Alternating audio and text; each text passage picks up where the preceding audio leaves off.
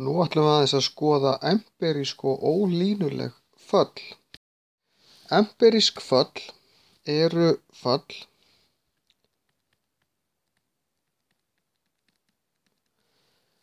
Föll eru föll sem byggjast á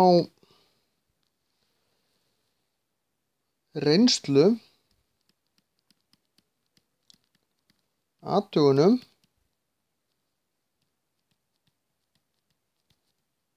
og tilraunum.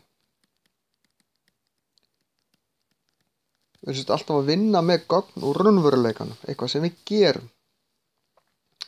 Fall hefur bara eitt fallgildi, það þýðir að fyrir hvert, nú ætlum ég að nota annan lit, fyrir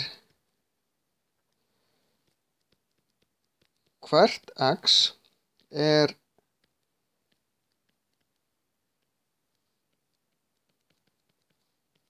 það er bara eitt uppsilon fyrir hvert x. Það er að segja, ef að ég dreg línu svona lóðrétt í gegnum, þá fer ég bara einu sinni í gegnum línuna, í gegnum fallið.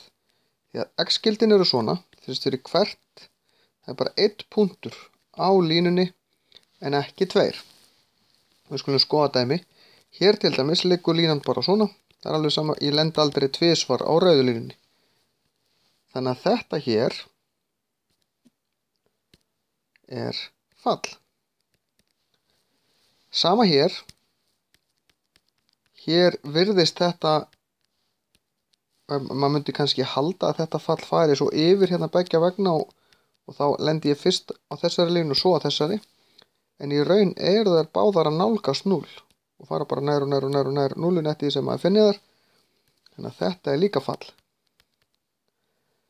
Þessi hérna mynd hins vegar, hér lendi ég tvísvar á línu hér og svo aftur línu hér. Það er þessi tvö uppsilongildi fyrir þetta x-gildi hér. Þá er þetta ekki fall.